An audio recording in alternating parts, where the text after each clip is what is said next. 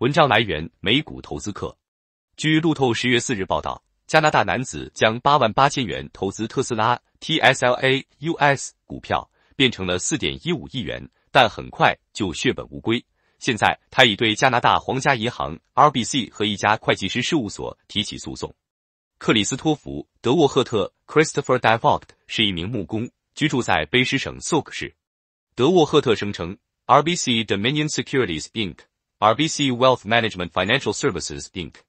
和 Grant Thornton LLP 违反了合同，玩忽职守，并提供了不充分的建议，导致他彻底破产。根据卑诗省最高法院的诉讼，德沃赫特是一名兼职投资者。其投资组合主要由特斯拉公司的股票和衍生品组成，截至二零一九年底，价值八万八千元。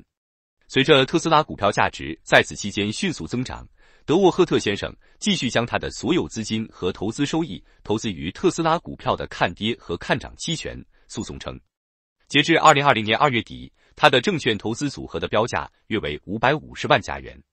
到二零二零年六月底，也就是他三十岁的时候，标价约为两千六百万加元，并且还在迅速上涨。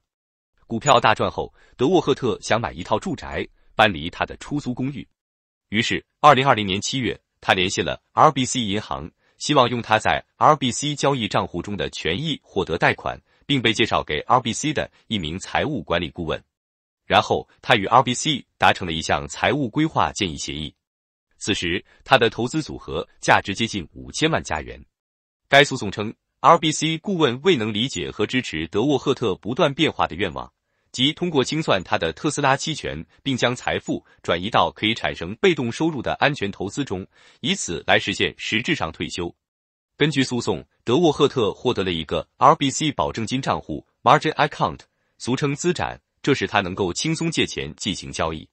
德沃赫特还被介绍给了 Grant Thornton LLP 的一名税务顾问。根据诉讼，到二零二一年四月，Divulged 的净资产已增长至一点八六亿元。到二零二一年十一月，他的证券投资组合价值四点一五亿元。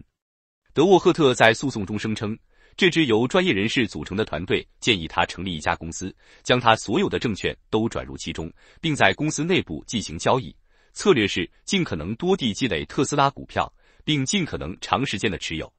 根据起诉书，他们的想法是说服加拿大税务机关将其视为一家投资控股公司，而不是一家活跃的交易公司，因为这样他可以缴纳较低的税款。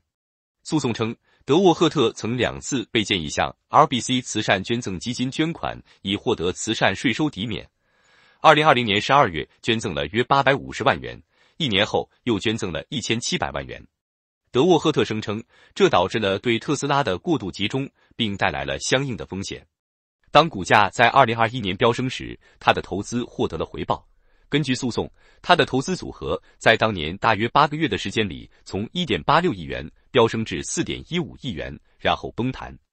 特斯拉股价在二零二二年经历了一系列下跌和周期性反弹。